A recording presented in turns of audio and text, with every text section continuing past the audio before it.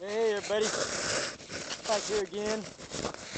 It is uh, about 4.30 here, Thursday, 11th, April. I'll tell you guys what, I just whipped out, this, God, this thing, it ain't got a tip on it, but this has got to be the most wicked, kick-ass little arrowhead I have ever freaking found in my life. Look at these little bitty ears on this thing. They are so sharp and so deep. Wow, man, I don't know. That thing is just paper thin. Freaking missing that tip.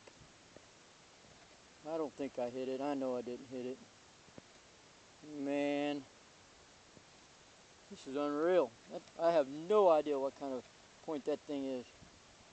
We'll get her cleaned up here tonight. Thanks for watching. Wow.